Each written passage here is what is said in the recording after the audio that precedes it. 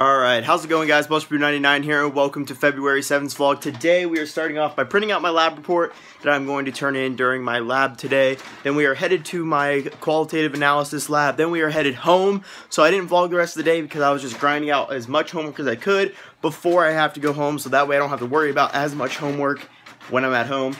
But uh, we're waiting for this to print.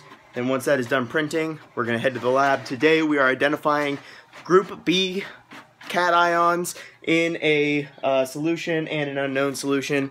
So that is what we are headed to do.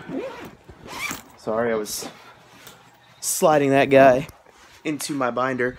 But I'm headed to that lab now, so I will see you guys when I get back and before I leave. So see you then. Alright, so as you can tell by my raccoon eyes, I just finished up my lab. It's like 10-10 right now.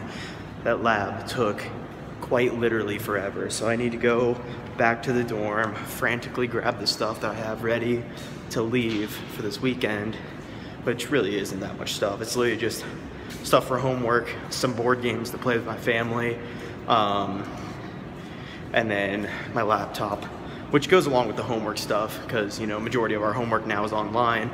Um, but, so I'm headed back to the dorm now. Um, I need to grab my uh, gimbal as well because my sister's going to be using that for a project. So I got to teach her how to use that tomorrow morning. Um, but yeah. So I'm headed home. It's like 10:10. 10 will be probably about midnight when I get home. So see you guys then.